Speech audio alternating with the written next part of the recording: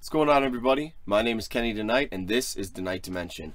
And I want to share with you guys something that I've been thinking about recently where I want to start treating others as if I'm going to die.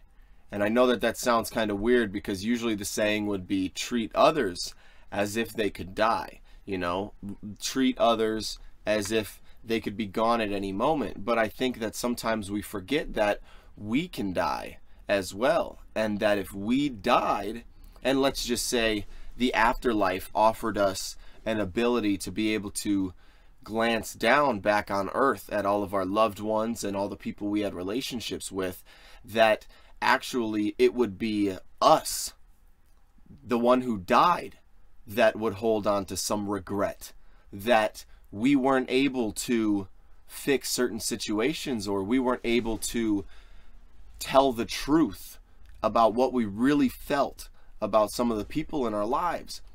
And so when I start thinking about the fact that I'm going to treat others as if I could die, it makes me realize that I want to get out everything to those around me, to the to the people around me and even to the earth, to society, to all of you guys, and to be able to give out everything that we possibly can because when we die, we may not have another opportunity. I know that I would love to come back to earth and have another opportunity, but it won't be in this body. It won't be in this personality or identity. I mean, maybe it will. Maybe we get another chance. But as far as we know, this is the only time that we actually get to be in this position that we are right now.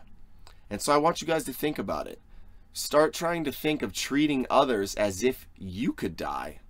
You know, it's it's been clear to me recently, especially with the passing of uh, a, a person I knew recently, a coworker that passed away recently, that human beings can seem perfectly normal one day. You can be smiling and happy and everything can seem fine. And the next morning, you could not wake up and it's over and that's that's all there is to it.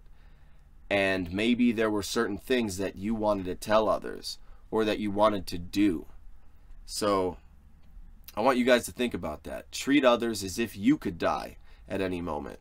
Be true to people and really express what you're feeling in your heart.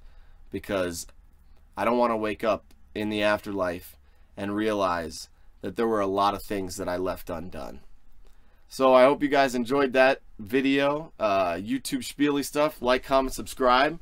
I'm working my best on commenting back to everybody as soon as I can. And uh, dab on the haters. I appreciate you guys, and I'll see you guys next time. Peace out.